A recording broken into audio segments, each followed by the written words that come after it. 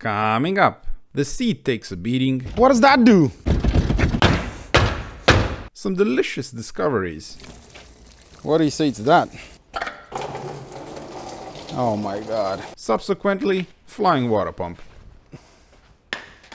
And will it make fire? yes, yes, it will. That's good.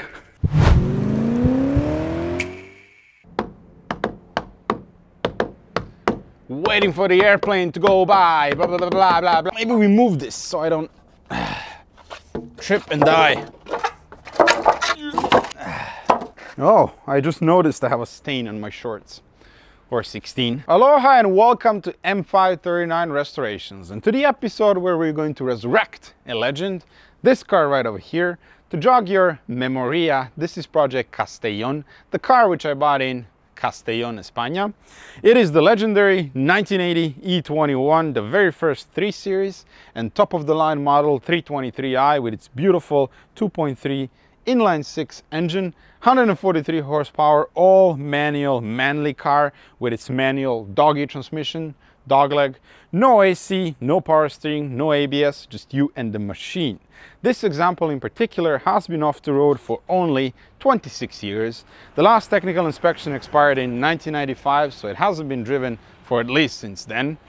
And if you remember when the car was delivered to me, we found that there's some surface rust in all of the cylinders and cylinder number one in particular is pretty bad with some scoring and stuff happening inside. So we put some fogging oil for men and WD-40 inside to hopefully make life a bit easier.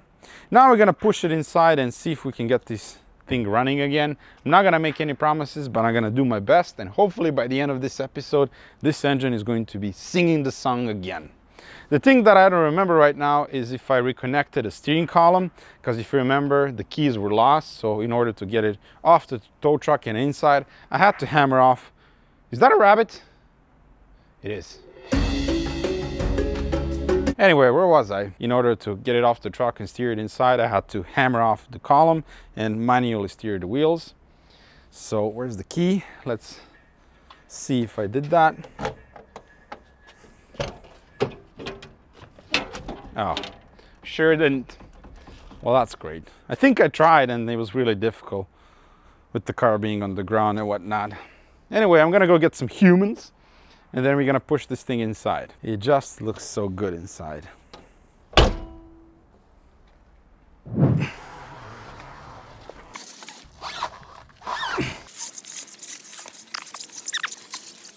Do we there?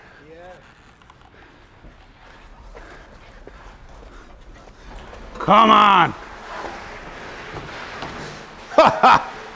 Perfect! Three horsepower. Thank you, gentlemen. A little bit of and the third is in. What do you say we take a quick tour de España of the underneath because we never had this car in the lift before. Let's start in the back.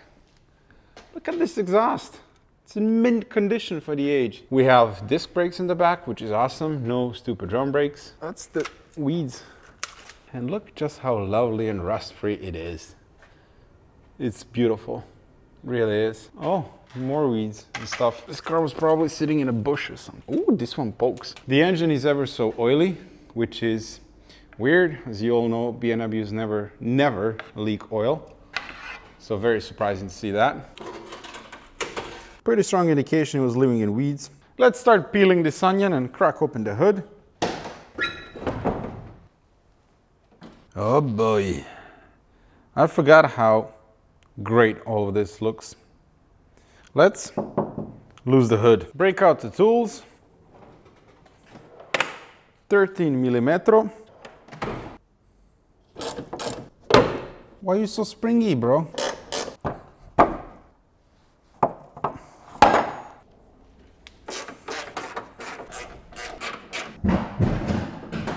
Oh yeah. Ah, This one is wider than the E30 one.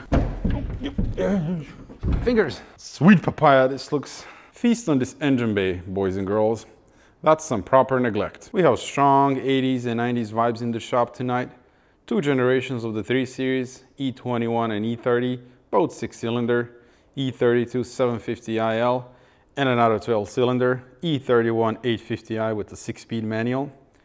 lovely. Just lovely. First things first, we need to replace the timing belt. There's a very good chance that's going to snap if you try to start the car with that one. It's over 26 years old for sure, probably even more, so why risk it and kill this engine even before we start? But I'm thinking some vacuuming is in order as well.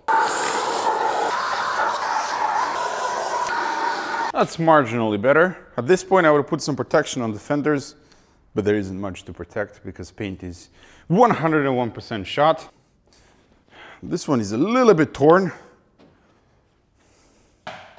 So you can't actually remove this air filter box because the alien stuff is bolted to it.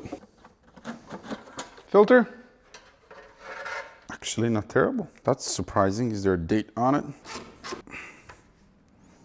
Oh, that's gonna be brilliant. It's full of rust. Oh, what is that? There's something living in the thermostat. Yuck! I'm actually scared of working on this car. I'm thinking brake cleaner, hot to kill, whatever that is. Die. Die. Let's just plug that and ignore it for now.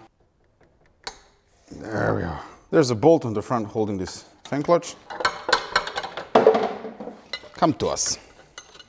It looks like the previous bastard who worked on this car was so angry that he took a bite out of the fan clutch. So I need to cut this clamp here because the thing is rusty. Oh no, look at that. It's so rusty. Oh, look at that. I think you're gonna need a hazmat suit here. Have a look-see there. And look at that as well. How I'm gonna get this car running is beyond me. Let's poke the bear for a minute. Plug that in, let's say we didn't see that. 1979, the original radiator to this car. All right, time to admit something. I made a mistake. I should have pressure washed this engine bay. I never do it because I don't like introducing water into these old engine bays. But on this car, it's whatever at this point. It's really bad and I don't feel like breathing in this dust anymore, so I'm gonna push it out and fire up the pressure washer. This car does not have any brakes. I think, if memory serves me right, it has a parking brake.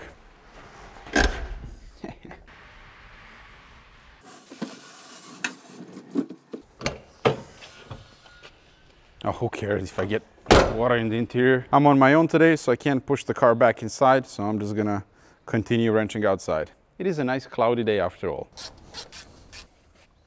Ah, what in the world happened to this car? There's just no way around it. This entire engine is gonna need a rebuild. I think now we're gonna remove the ignition wires. Not looking good at all.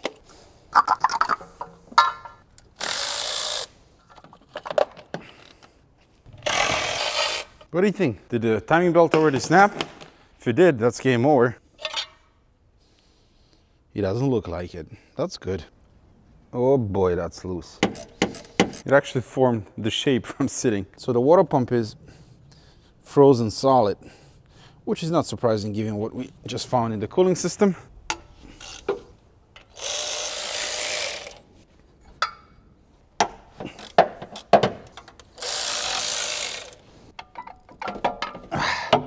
The denser is out. Now we're to remove the spark plugs and then I can rotate the engine and set it at TDC.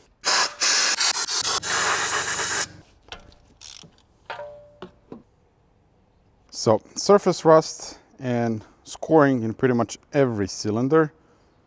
Six, three, one, all of them look really bad. And as I said, I already put WD-40 and fogging oil for men inside. And now we're gonna do the same again. Moment of truth. Will this engine actually turn by hand? Sure will. Actually, rather easily. Good. The crank and the camshaft are still in alignment. That is great. And I didn't feel much resistance when I was turning this engine over, which is also good. At this point, I'm not going to remove the timing belt because I'm still waiting on some parts, water pump and the pulley. In the meantime, I'm gonna pop the valve cover off and see what the engine looks like on the inside. Is that rust inside? How did rust form in inside there? Hello. It smells very fuely. Not too bad. Not too bad at all. Don't see excessive wear on lobes, which is good. Oil. Incredibly, all of the lobes look perfect. Since we're already here, might as well check valve clearance. Clearance. So the camshaft lobe is pointing downwards and we have 0.25 millimeter feeler gauge. Slide it in. Way, way too loose. Needs adjustment. So loosen the nut. What's with the birds? So we want it adjusted where you can feel slight drag, which this is. And then we can tighten it all the way. Mark it and move on to the next one. Just finished, all of them were out of spec, either too tight or too loose, and now they're perfect. Now we're gonna remove the sprayer bar and clean it.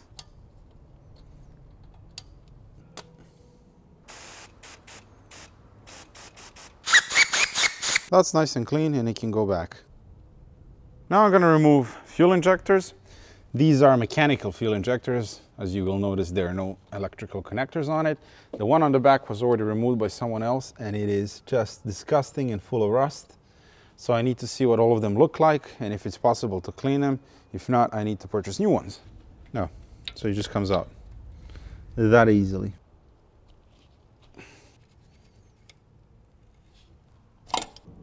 Ooh, fingers. Again with the girly noises.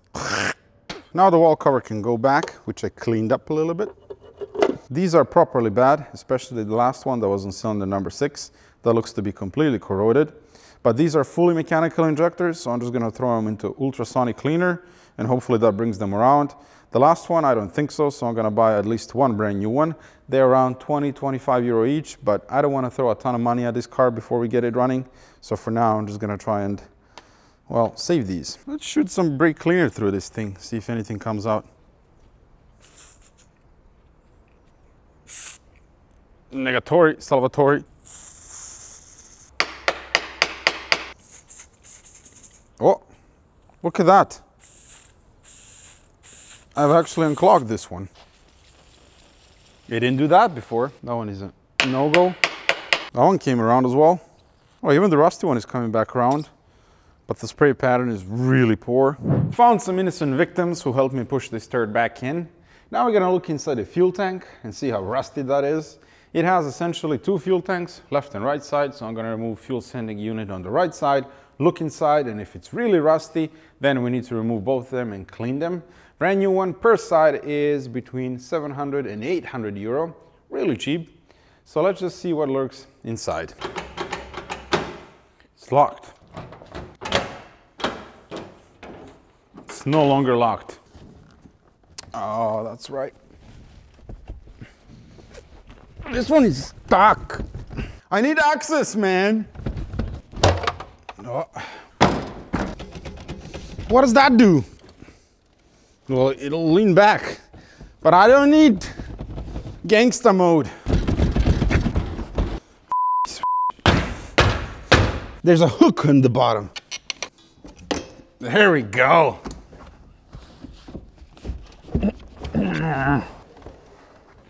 So this is where the fuel sending unit lives. First we're gonna vacuum and then disconnect all of this crap and pull it out. Unplug the plug. All right, some hammering action is required now.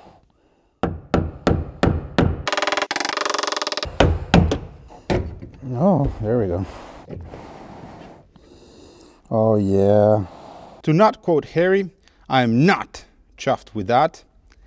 I guess on the bright side it's not rusty, but it is all sorts of varnishy and disgusting. There's black goo all over inside, so we definitely need to drop both fuel tanks and clean them. And the smell, ooh, I can't even begin to describe it. Look at the fuel sending unit. That's bad. And what's also bad is that you cannot buy that separately. Oh my God. So the float ain't floating. So I'm gonna see if I can remove this thing on the bottom. Oh my God.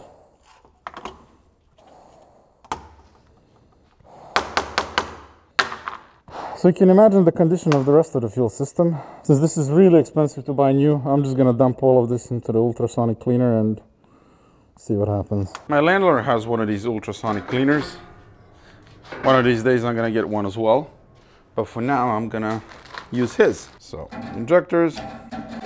The smell of this, it's so bad. Whatever it does, it does. I checked last night and this is no longer available. You cannot buy a brand new. Discontinued. This thing still needs to warm up and then all of this is going to cook for a few hours and hopefully it'll come out looking better. To remove the fuel tanks on this car actually looks fairly simple. We have one hose connecting the two, fill neck over there, and the good thing is the exhaust and the drive shaft, everything goes above. So just a couple of bolts here and this is gonna drop out. Remove this heat shield first.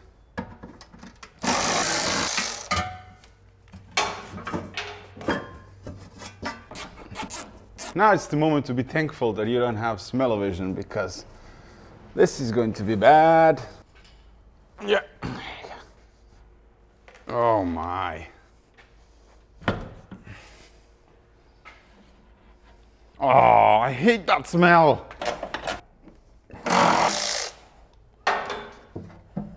There's a vent hose on the top. I'm going to remove the filter now.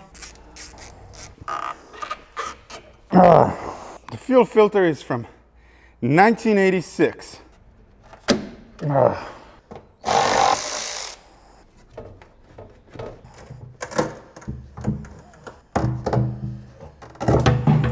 So I gotta replace all of this plastic that's way too brittle. I don't even know where this thing goes. Goes into the fender. But while we are here, we can admire the floor of this car. It's just immaculate. 41 year old and it is immaculate. Look at those lines. There's still beautiful shine on them. You would never ever see this on a car that was used all its life in Germany. Stuff like this you can only see on cars that lived in good climates, Italy, Spain. That's, it's just really impressive. The bones of this car are really, really, really good. I'm just going to give them a quick wash on the outside.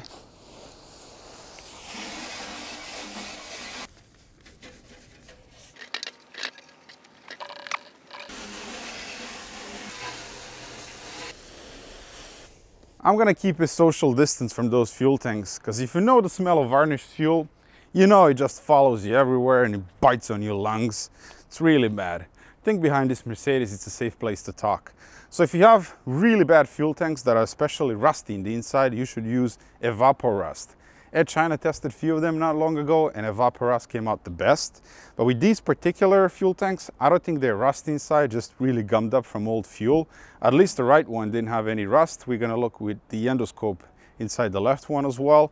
And if that's the case, then I wanna start with softer way of cleaning it. I'm gonna use acetone to try and dissolve all of that sludge.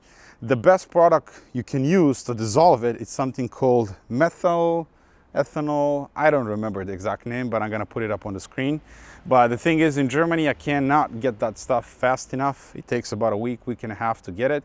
So I'm gonna start with acetone, see how that works. If it doesn't work, then I'm gonna step up with some other stuff that I also have coming, some products that are specially made for cleaning the fuel tanks. But as I said, I don't wanna use like chemicals that's gonna strip the whole fuel tank if I don't need to. So let's look inside and then come up with the game plan. I'm already hating this. The entire shop smells like varnish and it's really unpleasant. Time for fuel tank colonoscopy. Well, good news, it's not rusty, just full of varnish. Hopefully you can see somewhat. This is the inside of the fuel tank and as I said, it looks pretty good. I don't see any rust, the metal is nice and shiny. All of this is just varnish and sludge buildup and that's what we need to clean. So we're gonna kick off with acetone and see what happens. Well, I don't have such tiny fingers. Do I need to get the pliers for this, really? There we go. Cheers.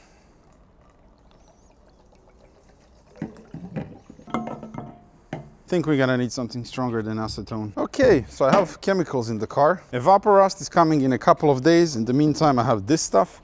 It has some German words on it, benzene, diesel. You can use it on military tanks, so that ought to be good. I think I'm gonna get this acetone out and then dump this stuff in it along with some screws, shake it like a maniac and leave it overnight. Let's see what acetone did. What do you say to that? Oh yeah, all 500 of them. Washers, because why not? Perfect. Now I just need to close this with something. Let's use goose tape for now. It's working slowly. I hear this is what NASA uses to seal their tanks.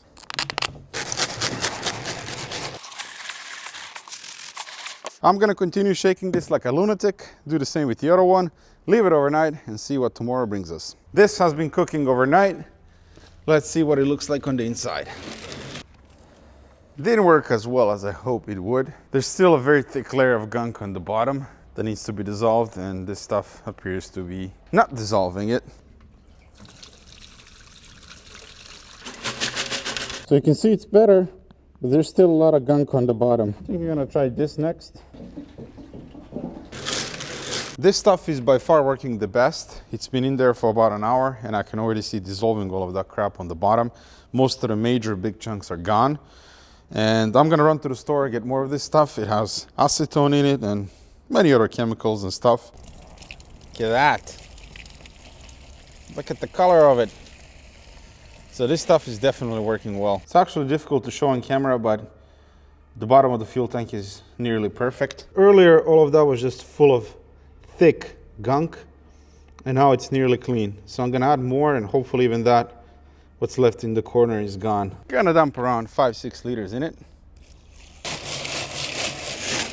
That's gonna sit overnight, and hopefully by tomorrow, it's gonna look brand new. So here is the lot after ultrasonic cleaning, fuel injectors and the fuel sending unit. And this actually looks great, a lot better than before. And the float is floating freely. And it might actually work. None of these wires or anything inside is torn or broken.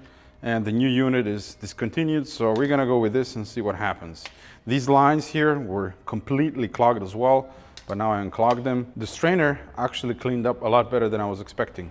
And again, this is not something you can buy brand new, so we're just gonna assemble all of this together and plop it back into the tank when the time comes. Putting the fuel adventure to the side, we can proceed with the timing belt. Now I wanna loosen the bolts for the camshaft pulley and the oil pump pulley. If you remember from the E30 video, this is early M20 pulleys and they are known for breaking, cracking and so on. So I've updated ones that I'm going to install. It's kind of relevant at this point since we're trying to get the car running, but I'm already in here, so I'm also going to replace the camshaft seal that's behind it. It costs like five euros, so might as well. So the engine is set at TDC, and now we're gonna remove this thing here. And the pump pulley as well. So now you're gonna unbolt the tensioner. This thing is toast. It barely spins and it's making noise. What is this thing? Lucas. To be honest, it's not horrible, horrible. It actually held up pretty nicely given its age. Oh, actually, there's a crack right over there. So definitely a smart thing to replace. Now we're gonna remove the frozen water pump and see the state of the block.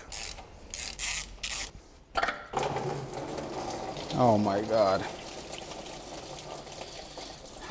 At least some of the coolant is coming out. My oh my.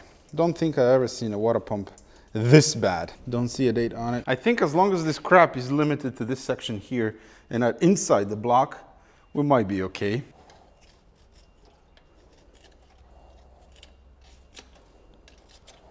So good news, it doesn't look like there's this crap inside the block, just here around the water pump and probably here around the thermostat housing, which we're also going to remove.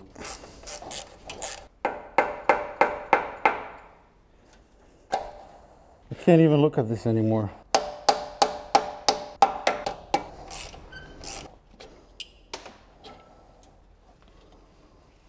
Perfect. Ladies and gents, I worked in a lot of cars and I've never ever seen anything disgusting as this. It's just utterly appalling. I can't even. We're gonna jam a garden hose in here and see what comes out.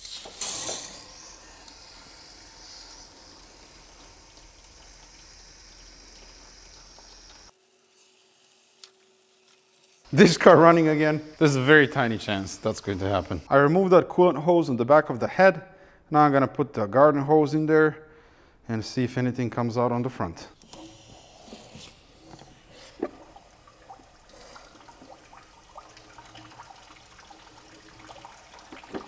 Look at that rusty water. At least it's flowing. Okay, that's fine for now. We're gonna do more of that a bit later. I was saving this beer for the end. When, if we get this bucket of destruction running, but I need thinking juice now. Cheers.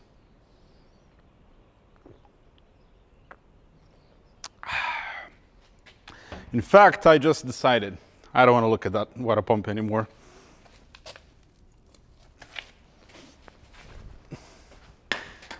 Maybe tomorrow it turns into tomato. anyway, tomorrow is a brand new day. The battle will continue. So I'll see you then. I'm back, reasonably sober, so we can proceed. Got all of the parts to complete the timing belt job, so let's get it done. Let's quickly replace the camshaft seal.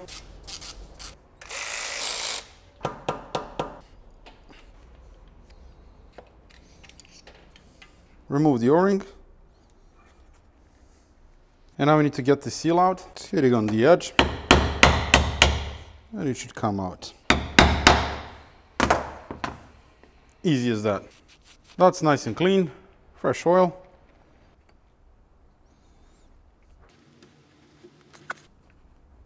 Perfect.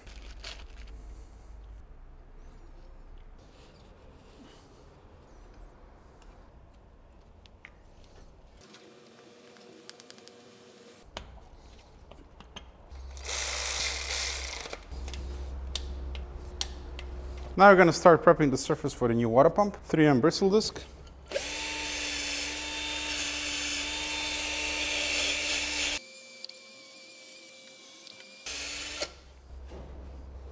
Okay, I think we're to flush the coolant one more time and then we are ready for the assembly.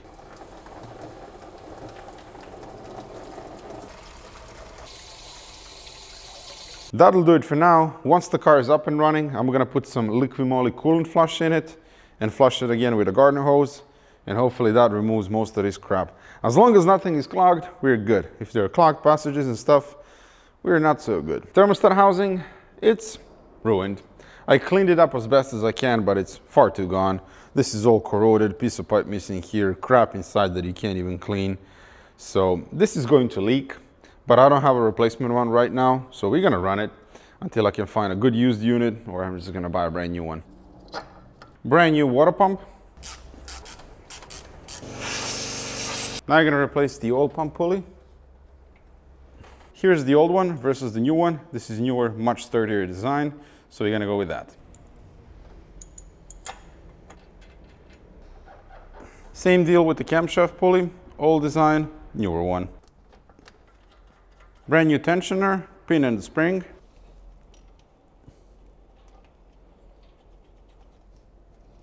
So now I'm gonna push the tensioner,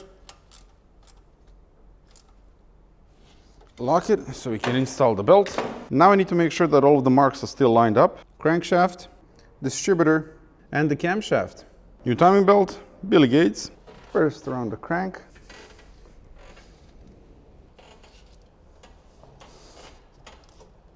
Perfect. Still nice and tight. I need to loosen this bolt here. That's tensioning the belt. Now we're gonna rotate the engine a couple of times and make sure all of these marks are still lining up.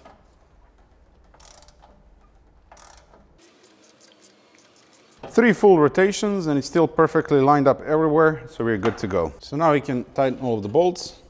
Tensioner bolt.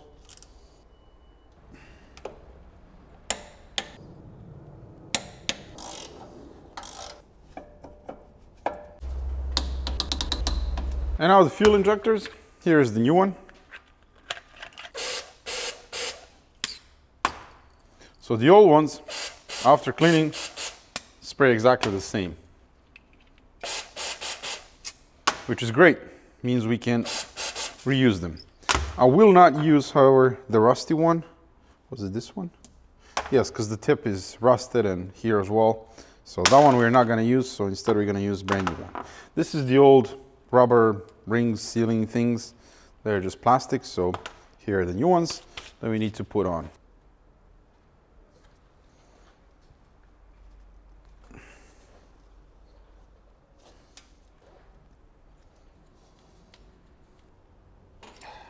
All of them are in. Now we can put back the valve cover.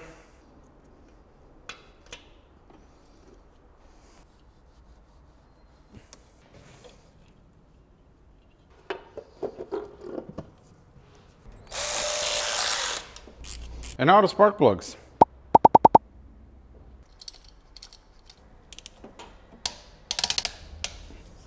Done. Now we're gonna go for a brand new filter.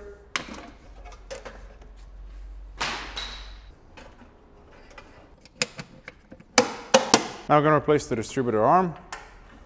This one is shot. Like that. And this is the one from the E30. It's in good condition. I used some sandpaper to make sure this is clean and ready to go. These are all the ignition wires from Project Marbet, the E30. I just verified that all of them are good. New cap, well, newish, in good condition. So all of this can go back together.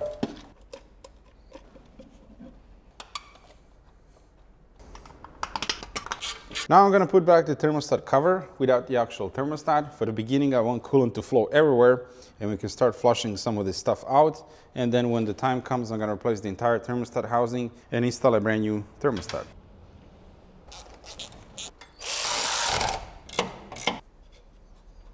The radiator goes back in, flushed it several times, but it's, it's shot. So much rust inside, but for the purpose of getting the car running, it'll do. That's everything in the engine bay done. We're gonna add water and coolant flush a bit later. Now we're gonna drain the oil. Lovely caked up stuff.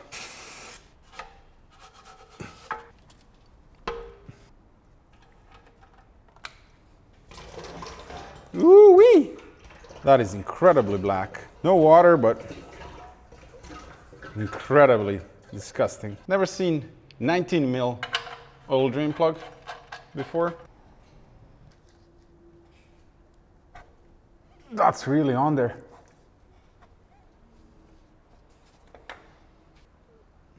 New filter going in.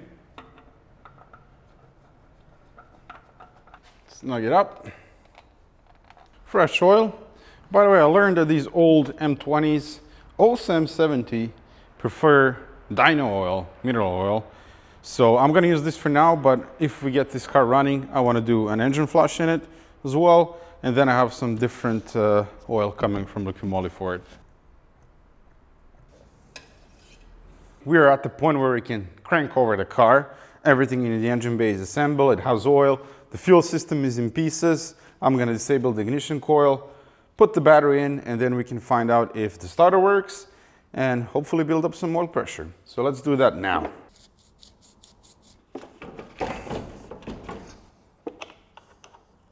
Okay. All right, let's see if the cluster lights up. No, don't do that. Stop it. Nope, not the fan. Nice. Signs of life. That's good. Do we have lights? Well, yes, we do. Let's see if the starter works and if the engine spins. Oh, yes. The sweet sound of engine cranking. She's gonna run, boys and girls. She's gonna run. Sounds okay. No banging, clapping noises. Everything sounds good. Good. Now I'm really motivated to proceed with the fuel system and let's get this puppy running. So all we need now is spark, fuel, bit of compression, and this thing has to run. It just has to. I've never seen so many hoses and stuff in the fuel system, so I'm gonna try and explain as best as I can. This is where the fuel tank resides. This line here that doesn't have a hose on it, that is the return line. This is the feed line. And this big hose here goes from the fuel sending unit, and that's the feed line that goes from the fuel tank here into the fuel pump, but it actually splits. One part of it goes into this thing here, which is an accumulator, and uh, there's a pipe on the top of the fuel pump that also goes to the accumulator, and then there's one pipe from the accumulator that goes into the fuel filter, goes through it, and then it goes all the way to the front of the engine with this line. So we're gonna refresh everything in this area here, just to make sure everything is good to go. And then I'm gonna remove these two lines at the front of the engine, at that alien device thing.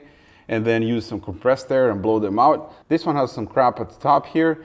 Not sure about this one, but we'll find out. So I'm gonna try and drop all of this as one unit, and that way I can start replacing everything one by one on the table and not mix up anything.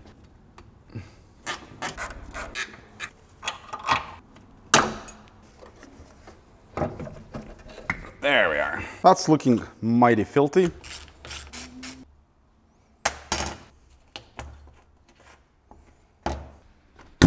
Oh. There you are. So I'm gonna go and wash all of this. There you have it. After a bit of scrubbing, these brackets are nearly new.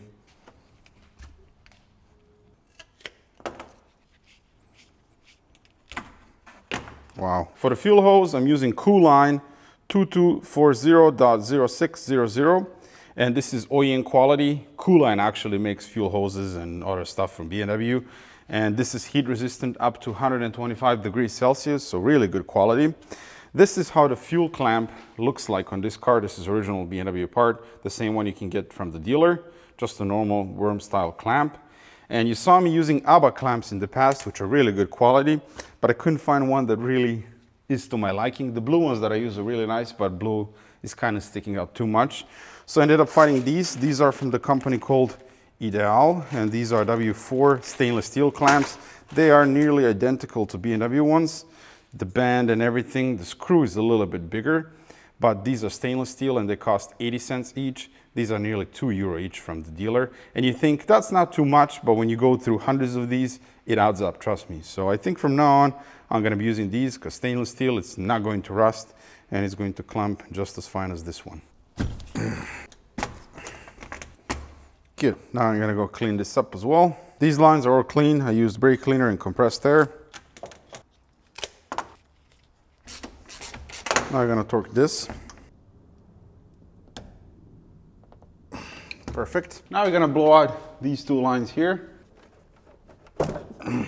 Put some throttle cleaner in it.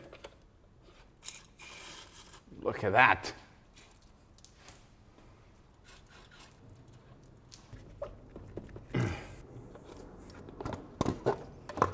These lines here are feeding the turn line, so I'm gonna crack open each and blow some compressed air through them.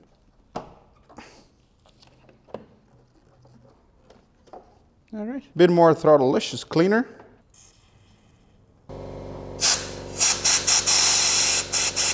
Oh yeah, that's definitely working. Have a look see here. That line was full of crap and gunk as well. And this is why it's so important to do all of this before you actually start the car, because all of this would have ended up in that alien looking thing and made things 100 times worse. Now I'm gonna flush it from the back as well, and now I'm going to put a clean carbon fiber towel, and let's see what comes out.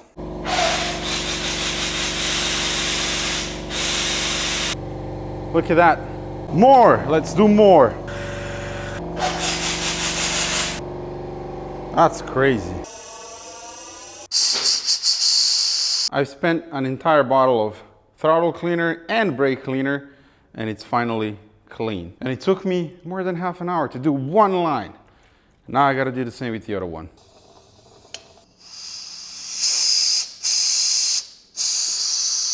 That's the second line and as you can see it's just delicious. So I ran out of throttle cleaner and I'm on my fourth bottle of brake cleaner and I think I have one more bottle left. And I'm gonna be impressed if this thing actually works. I'm not gonna take it apart because it's a complex device. There are many special parts and stuff in it. So we're gonna try and run it with that, but I might need to do something about this thing as well. 17 years later and the fuel lines are finally clean.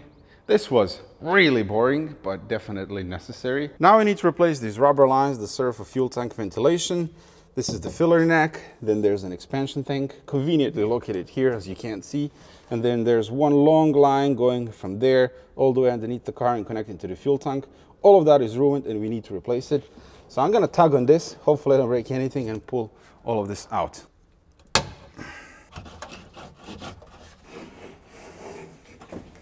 Yeah, there it is. Ooh, that stinks.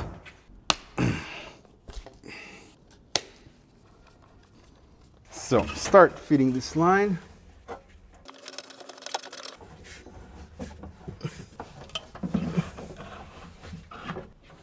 Brilliant, that job is done as well. This is the old line that had this plastic connector. Here's the new one. I actually tried to find a metal one, but couldn't, so I had to order this from the dealer. It wasn't that expensive, but it's kind of annoying that it's plastic. Doesn't matter though, that's how they designed it. There we go. That's the fuel pump and accumulator done, and we're gonna install the filter once the tanks are back in. So let's move on to that. Let's see what we have.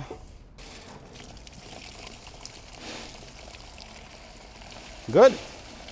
Means it's working when it's this ugly color. Still a couple of hard spots, but pretty good. No rust, which is important. So this is the stuff that I told you about earlier. I managed to find it and it's called methyl ethyl ketone. I mean, I'm not a chemist, but that's some good, strong, poisonous chemical. It's been in the fuel tank for two nights now, and as you can see, it's doing its thing. Now I'm gonna get some fresh petrol, get all the screws out, clean it one last time, and we can put this back on the car.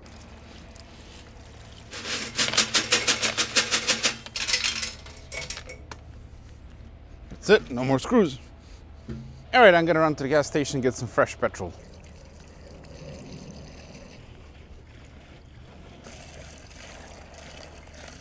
Just finished rinsing both fuel tanks and we're at the point where they're as clean as they can be. For 41 year old fuel tanks, they look pretty perfect. There are no more big chunks of varnish left inside, some stains, yes, but absolutely no varnish or anything that can clog up the fuel pump and injectors. You can see some stains over there and I tried to agitate them as well with a brush. That's not coming off and it was sitting with that stuff for two nights in it and if it didn't dissolve in that, it's not going to dissolve in petrol either. So this is pretty clean. I'm happy with it.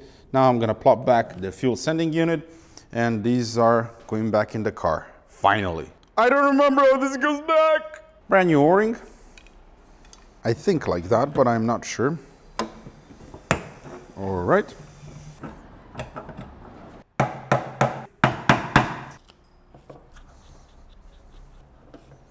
Fuel tankio going back in. In there. Fuck. Oh, there it is. It's in. All right, now I have to go up top. Oh, I see. Oh, I'm very flexible today. Abort. Ah, yeah. Flip this sucker the other way. I need to run and get my 7 millimetro. Schnell! Brand new hose. Come on, you can Fuel filter going in. Finally done with the fuel system. Now we can add some go-go juice and see how much of it leaks out. Oh, Dios mío. We're gonna add this into the mix as well. Fuel system cleaner from Liqui Moly.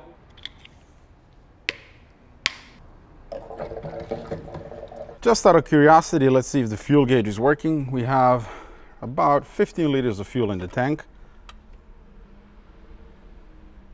What? Look at that. Seems about right. Should be a bit more. But I'm gonna add more fuel and then we're gonna check again. I added more fuel. We should have around 30 liters in the fuel tank. Ah, you bastard. I gave it a few love taps. Yep, there we go. That's pretty accurate now. It's not working brilliantly. As you can see, it's moving about, but I guess that's better than not working at all. Now we're gonna add a Liqui Moly cooling system flush. This should help with flushing the system. I did clean the expansion tank as well. I'm gonna add a little bit of coolant and then the rest is going to be water. I don't wanna waste coolant since we're going to flush this system 7 million times. This is it, the big moment. Will it actually start? I've put about two weeks of my time into this car, so hopefully it does. Regarding the fuel distributor, I did a bit of research this morning and I found a kit to rebuild it. It's not that expensive, around 70 euros, and it's all O-rings and stuff to make it not leak, but at the same time we can clean it because that's probably gummed up. But right now we're gonna flip the key and see what happens. Maybe it starts. Let's do it. I am excited and nervous at the same time.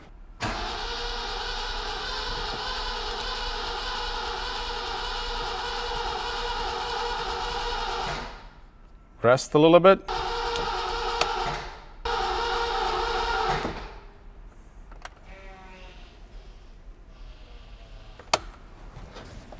Something happened and it sprayed fuel. Varum.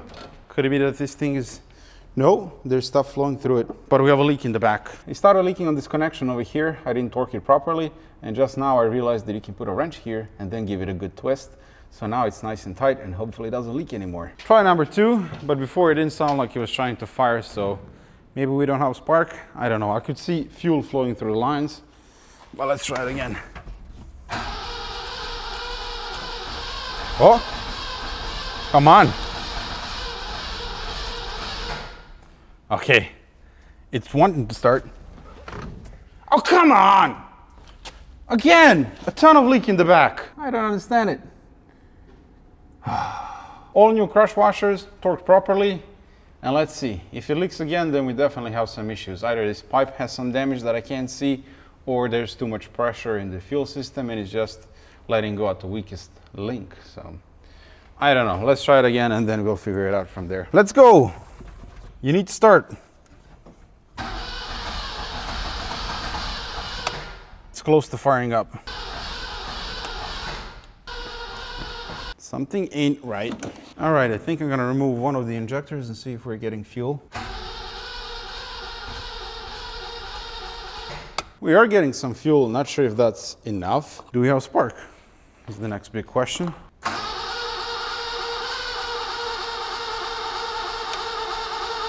All right, we definitely have spark. So let me check this injector here as well.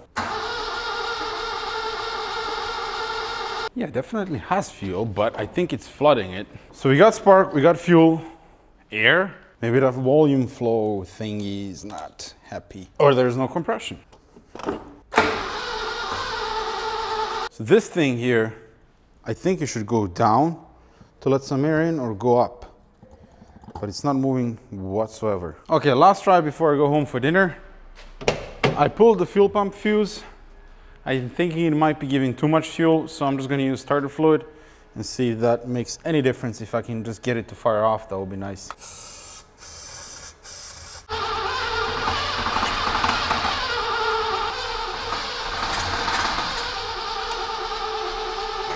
Oh, it's so close. By the way, the starter is sticking like crazy. So close. So I think we do have an issue with the distributor. It's either giving too much fuel or not enough, but I'm thinking too much because that injector number one was spraying so much fuel, way too much for a cold start. And these injectors, they don't fire click, click like normal electronic fuel injectors. They shoot fuel constantly, all the time. That's how they work. Anyway, I'm gonna go home for dinner. Maybe I come back later if my better half lets me. I'm back, showered and fed, and I've got some updates. This thing here that allows air to enter the engine is stuck. Pierre from Belgium just sent me a video how one of these is supposed to work. It should move downwards, which it does, but it should also move upwards really easily. And when you crank the car, it should open and allow air to enter the engine. But this one is stuck, obviously. So when I was cranking the engine, it was getting fuel and spark, but it was not getting air. And with this fuel system, the fuel injectors, they're continuously spraying fuel, so I flooded the engine. Therefore, no start, no fire. So I'm gonna have to figure out what to do here, probably take all of this apart and see what's the issue. After I flooded the engine and so on, I did a compression test and the results are appalling, like horrible. The highest one is about six and a half bars and the lowest one, the worst one is cylinder number four, three or four bars, really bad. The rest of them are around five or six. And I don't think that's enough to get the engine going again. That's really low. That's like 70 psi or something. Really, really bad. Nonetheless, when I was spraying starting fluid, it was close to firing. So I'm gonna, I'm gonna continue. I'm not giving up just yet. Even though the engine is probably dead, there's no way to revive this thing. I have one last tiny bit of hope. So let's, let's try it again.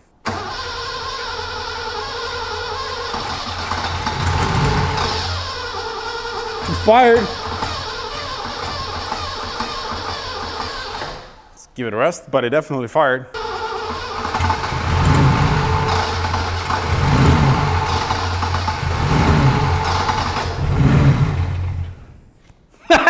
it fired off. I can't believe it actually ran for like a second. That's just unbelievable. It has basically no compression whatsoever. I'm gonna put up the pictures if I already didn't. See, this is tricky. Come on, you can run for a little bit longer, don't you think?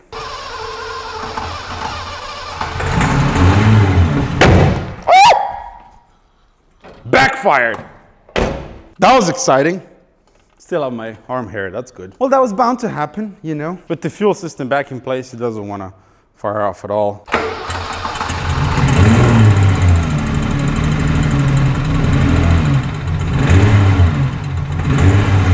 Sounds horrible, but it's running.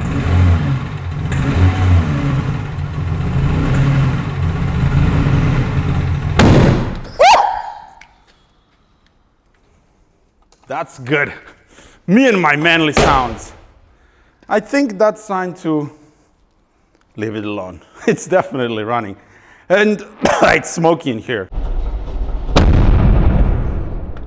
Mm. That backfire that you just saw, that happens when the combustion takes place outside the combustion chamber and it backfired in the intake. But nonetheless, I cannot believe that this thing actually ran. That was maybe five seconds. Not sure, maybe a little bit more. I don't understand actually, because the compression, it doesn't really have any, and yet it's still running really poorly. But then again, this engine is really, really picky about fuel supply, especially with the K-Jetronic uh, thingy. So as soon as you put the fuse in back for the fuel pump, it does not want to start. It's, it doesn't even want to try to fire. So there's definitely something wrong with this devil's device that we're going to troubleshoot in the next episode. Can we get it actually to idle for a couple of minutes? I'm not sure, but we are sure going to attempt in the next episode. Man, what a battle. What a battle. Definitely the worst car I ever worked on, condition-wise. 26 years out of service, but we did get it to run for five to 10 seconds, so we're just gonna have to take that victory for now. Anyway, I'm gonna go home. It's been a very long day. Eh, good night. I'm back again and I had more time to do research. As I already said, this contraption here is bad. Inside this fuel distributor, there is a control piston that slides freely up and down, and in return, it controls this air baffle plate. And evidently that piston is stuck, which means the engine is not getting any air, the fuel pressure is messed up, and it's flooding the engine. I have a rebuild kit coming for it, so I'll take it apart and hopefully it's rebuildable. If not, I'll get a used unit. My goal right now is, can we get this engine to idle again? If that happens, can we get it to drive? And the brake fluid reservoir, that's missing entirely. So no brakes, no clutch, and all of these lines are open. So that'll be a challenge on its own. At this point, there's no way around it. The engine needs a complete rebuild, and that will happen once we start with the restoration. However, at this very moment, I don't have time or desire to take this thing apart. First, I want to finish E32, E31, E39 M5, and E30, which is nearly done. But if I can get it to idle again, then you can expect a new episode pretty soon. And at the same time, we'll try to get it to drive. Let's see how far can we take this revival. If I can't get it to idle, then I'm gonna park it and we'll go big with this project when the time comes. The compression test that I did wasn't exactly accurate because the cylinders were washed out, but if it ends up running, we can warm it up, we can clean it, do Italian tune-up, and we check the compression with the engine fully warm up, which is the proper way to do it. Also see the state of transmission, differential, and so on. I really do want to see it run and drive right now, as it'll be a huge motivation for me to continue. There's another thing about this car that I didn't mention, and that's that the papers are missing. They were lost. Normally, that's not a huge issue. If the car can pass German inspection and I can prove that I bought the car, I can get German papers. The problem is the guy that I bought the car from. He is a numbnuts. And he kept the original notarized purchase agreement, which we made, which I paid for, and which I need. If I can't get those original documents, then restoration of this car won't be possible. I can't register it. Anyway, I've been arguing with the guy for months now, and every time it's some different excuse. He insists on keeping the original documents even though he doesn't need them. So it's just really, really annoying. In any case, I hope that this was enjoyable. The car did quite literally fire for the first time in 26 years. And that's something. As always, thank you very much for watching. Perhaps subscribe if you like what you saw. And as Spaniards would say, auf Wiedersehen.